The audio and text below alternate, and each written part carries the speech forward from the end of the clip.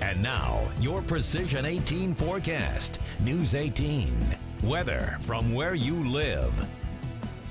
Well, a decent amount of rain over the viewing area today, especially in the heart of the area. We had almost six tenths of an inch here at the TV station, two thirds Delphi, third of an inch at the EMA office in Monticello, and about a quarter here at Crawfordsville and even Attica, four tenths and almost a half an inch at Frankfort. East side of Frankfort, Randy Rogers emailed me with right at one half inch of rainfall. Most of the rain is out of here with the warm front, but there are a few little stragglers. Again, up here to the north, we've had a few little showers and thunder showers around east of Monticello, Logansport, Peru, uh, to the northeast of Flora, and these are all moving eastward. And I still can't rule out a couple of these kind of popping this evening. So we will maintain 30% coverage of a couple thunder showers this evening, and then it dries out.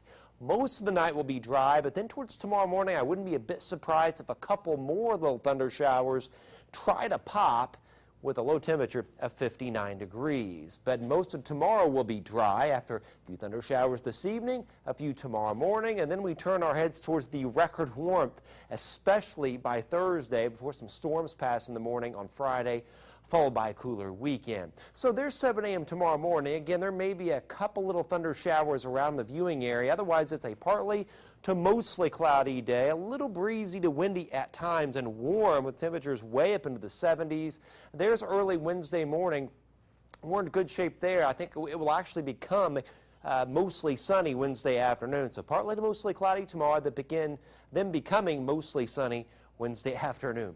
Tonight, though, lows upper 50s to right around 60, 57 Burlington, Logansport to Walton, 59 Lafayette, and about 60 at Otterbein, as well as Fowler. Tomorrow, really nice and warm, kind of summer-like, mid to upper 70s, 79 Covington, 78 Attica, and a 77 at Frankfort, Rossville, and Clarks Hill. And even warmer Wednesday, this will be the mostly sunny day and very warm, 81 at uh, Romney and Lafayette and Battleground, 80 Logansport, and 83 degrees at Pine Village. Now, once we get towards next week, though, we'll have to keep an eye on this. Severe weather just off to our west. Right now, it looks like we'll pick up the leftovers on Friday morning.